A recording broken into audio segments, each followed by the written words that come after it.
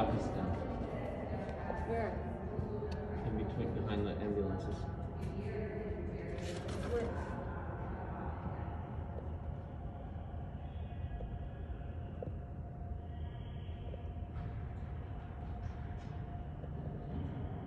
You can see it's definitely an officer in that on that stretcher. Couldn't tell.